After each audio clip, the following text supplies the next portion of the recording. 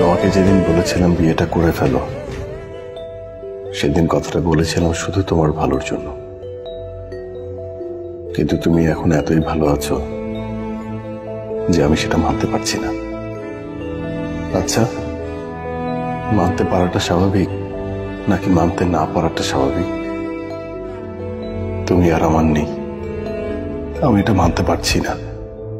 নাকি আমাকে ছাড়াই তুমি ভালো আছো? সেটা মানতে পারছি না।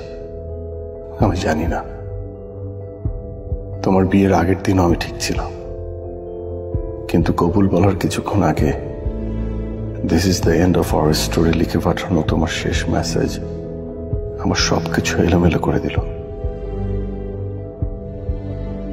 আমি হারিয়ে ফেললাম তোমাকে।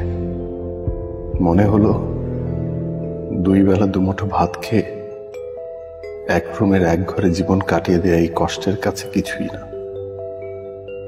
সেদিন থেকে এই পর্যন্ত বুকের বা পাশের চিনচিনে ব্যথাটা আমার একটুও কমেনি। আমি তোমাকে প্রচণ্ড মিস করি, ত্রিনা। আমি চাই তুমি ভালো থাকো। কিন্তু পরক্ষণে আমার মনে হয়, না, আমাকে ছাড়া তুমি ভালো থাকতে পারবে না। তোমার উপর আমার এক আকাশ অভিমান। কেন যেন মনে হয় তুমি আমাকে ভুলে গেছো। ভুলে গেছো সেই সব দিনগুলোর কথা।